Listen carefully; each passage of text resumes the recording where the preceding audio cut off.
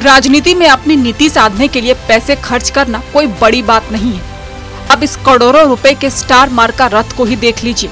किसी five star hotel से कम सुविधाएँ नहीं है यहाँ, और लुक तो बिल्कुल शाही महल वाला।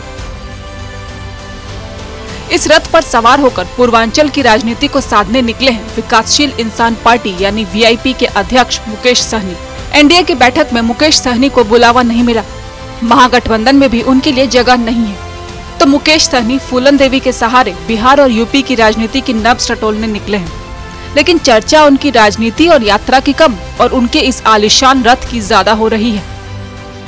मुकेश सहनी इन दिनों सौ दिनों की संकल्प यात्रा पर निकले हैं और इसमें खास है उनका ये रथ, जिसे इस यात्रा के लिए तैयार किया गया है। इसकी कीमत चार से पाँच करोड़ के आसपास बताई जा रही है। ये रथ इतना आलिशान और लग्जीरियस है कि अच्छे अच्छे सुपरस्टार्स की वैनिटी वैन भी इसके सामने कमतर है। बस के अंदर राजशाही ठाट वाले फर्नीचर लाइटिंग पेंटिंग सब कुछ है। बस के अंदर के हिस्से को तीन भागों में बांटा गया है। अंदर एक मीटिंग रूम भी बनाया गया है, जिसमें सात लोगों के बैठने के लिए राजशाही कुर्सी और सोफा लगाया गया है। बस में ही बेडरूम और लग्जीरियस बाथरूम भी बनाया गया है। मनोरंजन के लिए टीवी की भी व्यवस्था की गई है। बस के अपर फ्लोर में भगवान कृष्ण की पेंटिंग्स भी लाइट के साथ लगाई गई हैं। बस के बाहर मुकेश सहनी की तस्वीर के साथ ही एक टैगलाइन लिखी है। बिहार, झारखंड, उत्तर प्रदेश में निषादों ने ललकारा है। आरक्षण नहीं तो गठबंधन नहीं गठबंधन नहीं तो वोट नहीं। इसके साथ ही बेहतरीन फ्रेम में शहीद जुब्बा सहनी और फूलन देवी की तस्वीर भी लगाई गई है। देश की राजनीति इस वक्त दो धुरी पर चल रही है। एक तरफ़ एनडीए और दूसरी तरफ़ महागठबंधन। जो अब इंडिया बन चुका है।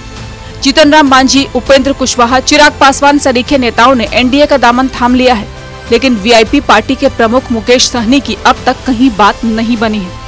मुकेश सहनी इसी महागठबंधन सरकार में मंत्री भी रह चुके हैं और मंत्री पद से हटाए भी जा चुके हैं। ऐसे में शायद मुकेश को समझ नहीं आ रहा कि वो जाएँ तो किसके साथ जाएँ, और इसलिए अब मुकेश ने एक नई लकीर खींचने की कोशिश फूलन देवी के बहाने की है। पहले हमारे लोगों पे थप्पा लग चुका है कि निषाद समाज का लोग वोट बेचता है। लेकिन अभी बदल चुका है, ये उनको नहीं पता है। उनको लगता है मेरे पास पैसा है, जब चुनाव का समय आएगा, हर पंचायत में पैसा भेज देंगे और नेता को वोट को खरीद लेंगे, क्योंकि आज तक वो यही करते आया है।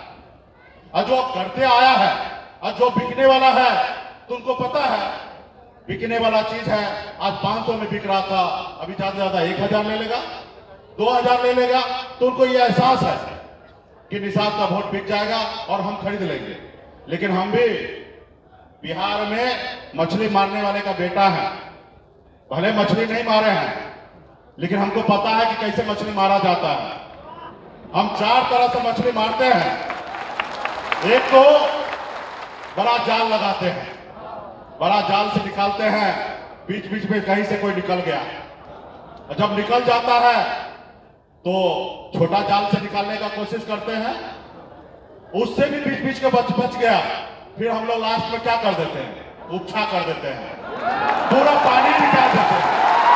और जब पूरा पानी निकल जाता है तो एक एक मछली को उठा के और टोकरी में रख देते हैं। तो हम लोग, वो लोग हैं जैसे दशरथ माँ ने कहा कि जब तक तोड़ेंगे नहीं तब तक छोड़ेंगे। छोड़ेंगे नहीं।